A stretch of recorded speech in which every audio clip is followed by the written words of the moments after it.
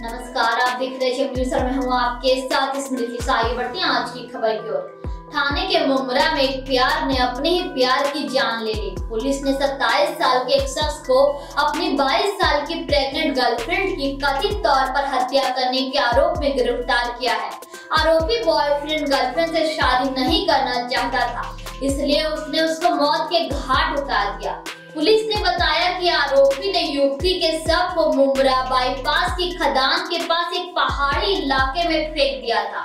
युवती के परिवार के अनुसार वह गर्भवती थी। हालाँकि पुलिस अंतिम पोस्टमार्टम रिपोर्ट का इंतज़ार कर रही है। आरोपी की पहचान अल्तमस मुनवर दलवी के तौर पर हुई है, जो एक छोटी कंपनी में सुपरवाइजर के तौर पर काम करता है।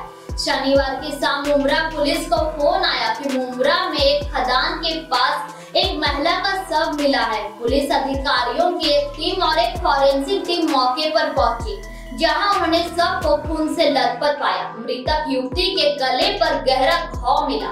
मामले में मुमरा थाने के वरिष्ठ पुलिस निरीक्षक अशोक कदलाम ने कहा कि युवती की पहचान दो घंटे में हो गई।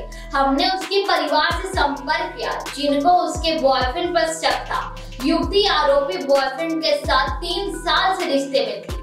आरोपी अल्तमस दलवी युवती से शादी नहीं करना चाहता था और इसलिए वह उसे अपनी बाइक पर ले गया। दलवी ने युवती की हत्या करने के लिए खदान को चुना। पुलिस ने बताया कि आरोपी दलवी दो दिन पहले तेरह इंच का चाकू लेकर आया था और गर्लफ्रेंड की पहले से हत्या की योजना बना रहा था। दलवी ने युवती का गला काट दिया, उसके शरीर को झाड़ियों में फेंक दिया और मौके से भाग गया। दलवी को थाने से गिरफ़्तार कर अदालत में पेश किया गया।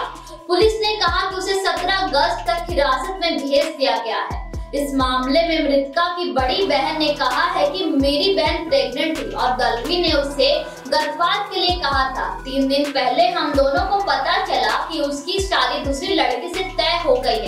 हमने उसका पता लिया और दलवी की सच्चाई बताने उसके घर गए। वह उसी दिन से मेरी बहन से नाराज़ हो गया और इसलिए उसने उसकी हत्या की योजना बनाई होगी। तो ये थी आज की खबर इस तरह और खबरों में बने रहने के लिए देखते रहिए एच